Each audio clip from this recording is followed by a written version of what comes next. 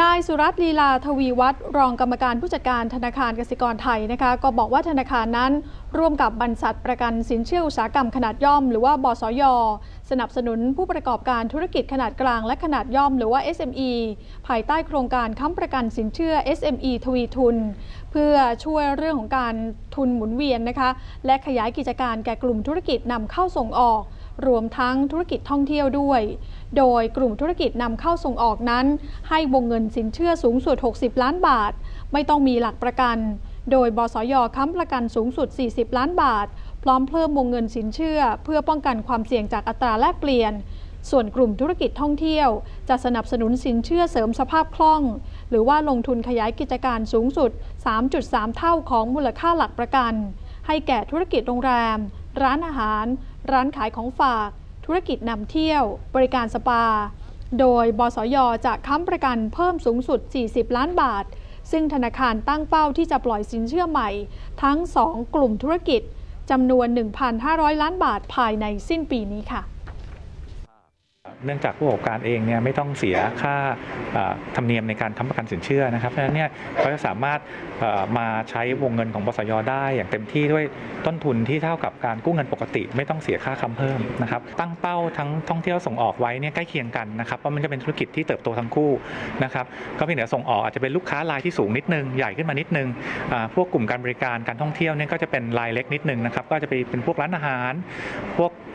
สปาเรื่องทัวร์เรื่องอะไรอย่างเงี้ยนะครับ ซึ่งอันนี้จะเป็นกลุ่มที่ต้องการวงเงิน เพราะว่าเขาเองเขาจะมีหลักประกันไม่ค่อยมากเท่าไหร่นะครับ ก็จะใช้ตัวบสยนี่มาช่วยเหลือได้นะครับด้านนายนิติตมนุนพร กรรมการและผู้จัดการทั่วไป บสย บอกว่าาพรวมธุรกิจ SME มีแนวโน้มดีขึ้น ผลจากรัฐบาลมีโครงการให้ความช่วยเหลืออย่างต่อเนื่อง ส่วนโครงการค้ำประกันสินเชื่อ SME ทวีทุน ที่บสยทำร่วมกับ 18 สถาบันการเงิน ตั้งแต่ต้นปีจนถึงปัจจุบันมียอดค้ำประกันสินเชื่อแล้ว 47,365 ล้านบาท คาดว่าตลอดโครงการจะปล่อยสินเชื่อ และค้ำประกันทั้งหมด 85,000 ล้านบาท นอกจากนี้บสยได้แก้ไขกฎหมาย ซึ่งมีผลแล้วตั้งแต่วันที่ 1 กันยายนที่ผ่านมา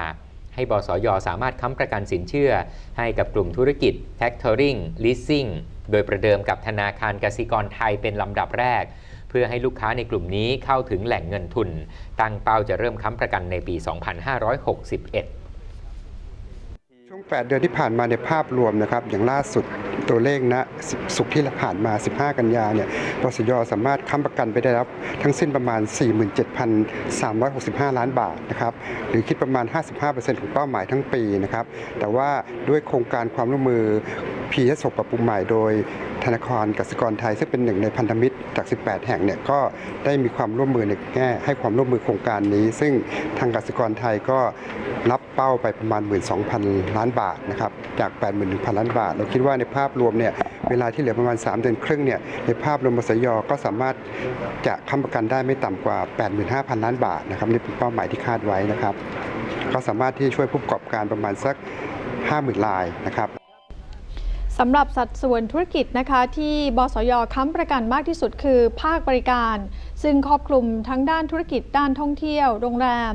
รองลงมาคือภาคการผลิตการค้า ภาคอาหารเครื่องดื่ม ภาคอุตสาหกรรมประเภทเหล็กและโลหะ รวมไปถึงภาคการเกษตรด้วย